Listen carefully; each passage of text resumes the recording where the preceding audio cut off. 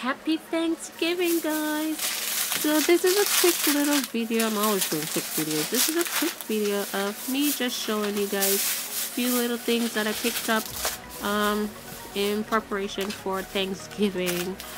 Oh my god, all the food we're gonna like devour on that day is ridiculous. So I got me, as you can see, some Jiffy Corn Muffin Mix, my organic ShopRite eggs. They're so delicious. Some butter.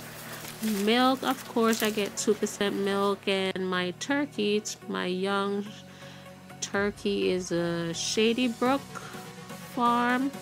$35 people. $35 for 14.13 pound turkey. Oh my goodness. So I hope you guys enjoyed this video. These are not actually all my ingredients. I have to go and buy my collard greens and my chicken stock and blah blah blah. So hope you guys enjoy this video. Please thumbs up, subscribe, and share this video. Thank you so much. Hope you guys all have a happy Thanksgiving. Eat up. Bye. Enjoy.